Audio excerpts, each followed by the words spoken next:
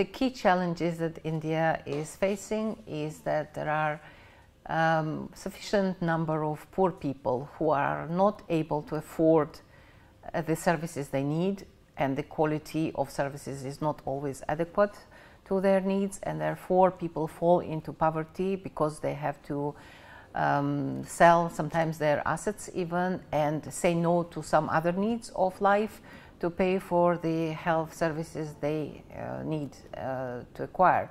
And that is very important because we have evidence that in the situations such as cancer patient in a family, for example, some 50% of uh, such families actually fall into poverty.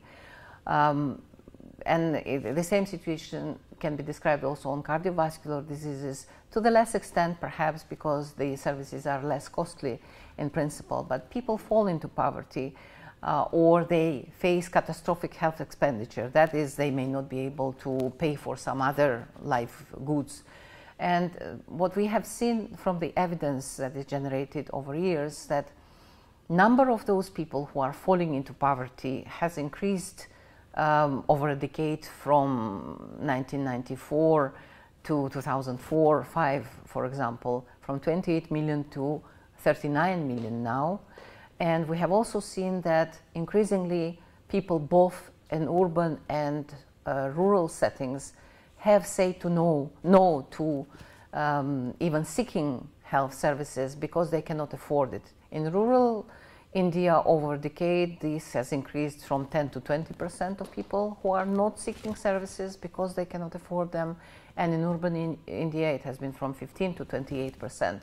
So these are big numbers. People are left without services they need. And because uh, we consider that WHO considers that universal health coverage is the perhaps the most powerful public health concept that can be in, offered to any country, uh, we feel that this is really important and it is a historical moment for India to take advantage of its decisions in the recent years, to take advantage of its change in economic and uh, other realities, and really uh, benefit its population from implementing universal health coverage. India should not be scared of its big numbers of the people. I think it is very important that we remember that universal health coverage is not really a goal because there is never a goal. There will be always new technologies coming, there will be new medicines coming, there will be new knowledge coming. No country has enough money to meet all the expectations of its population.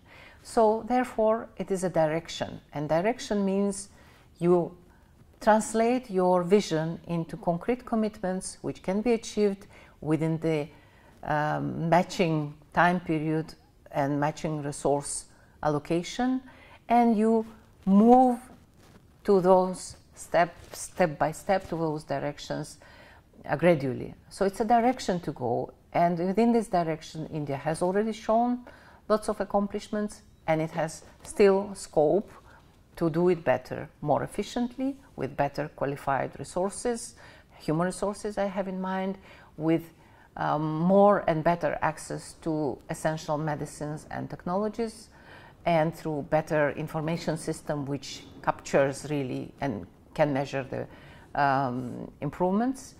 Uh, also to introduce incentives for the providers, for individual and group providers to be able to meet the quality standards which are required for services to be effective and govern this in a comprehensive, holistic manner with a good role um, attributed to states, to districts, to union level. So have a comprehensive oversight of the system. Uh, strengthening regulatory basis, um, strengthening mechanisms for accreditation, certification, licensing, some quality assurance mechanisms is also very important. Therefore, Clinical Establishment Act, which is not ratified in every state of India is going to be one important tool and mechanism to engage increasingly private sector providers into delivery of services whenever appropriate, wherever there is no public delivery possible.